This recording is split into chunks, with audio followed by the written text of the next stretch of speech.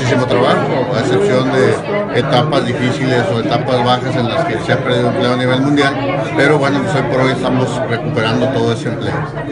¿Se espera la llegada de nuevas empresas? Se esperan más empresas, se espera muchísimo más generación de empleo, se espera mayor estabilidad en la ciudad por parte de los gobernantes, por parte de, los trabajadores, de los empresarios que hemos estado muy de cerca con nuestras autoridades buscando el que Matamoros y toda la región fronteriza siga siendo atractiva para la inversión extranjera. Con la homologación del IVA, eh, el aumento al salario mínimo, ¿qué se espera? Bueno, pues son expectativas que tienen muchísimos puntos de vista. Nosotros hemos estado muy al pendiente trabajando en la CTM a nivel, ahora sí que a nivel nacional con otros organismos sindicales también de corte nacional, eh, buscando el que ya se concreticen más todos esos planteamientos.